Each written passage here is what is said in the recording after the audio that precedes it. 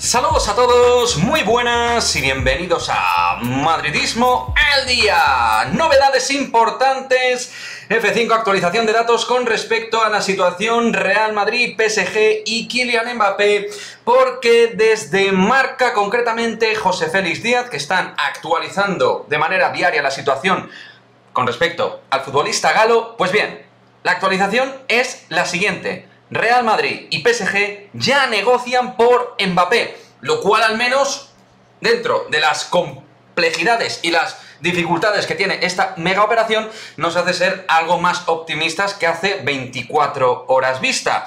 Pues bien, se habla de que incluso ya habría una cuantía de por medio para negociar y cerrar el fichaje de Kylian Mbappé por el Real Madrid. El PSG no negociaría por menos de 200 millones de euros.